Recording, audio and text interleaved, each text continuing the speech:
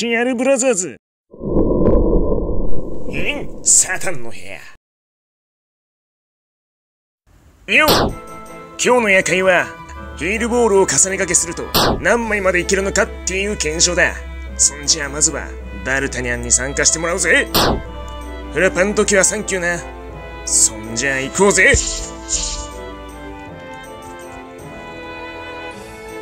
おう、よろしく頼むぜ。今回は右側の壁を使っていくんで、そっちに注目だぜ。そんじゃまず一発目。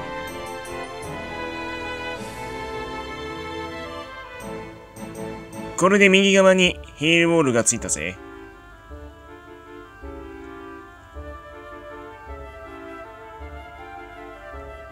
プラスで今2個ついた状態だ。そして、こいつでボスを倒さないように、3つ目のヒールボールをつけるぜ。そして、下の雑魚でまた右。これは増えたよな。増えたよな、今の。そして行くぜ。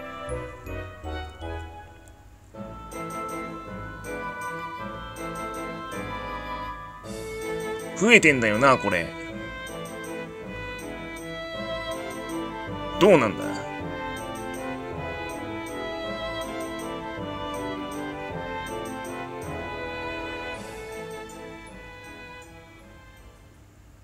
いや、増えたと思うかな。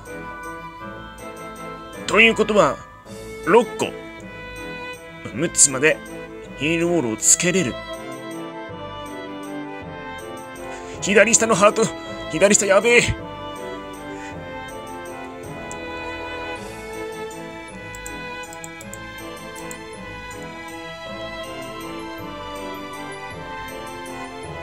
左下のハードやばすぎ、湧きすぎ。というわけだ。ちょっと見間違いもあるかもしれないから、コメント欄とかで教えてください。意見があったら。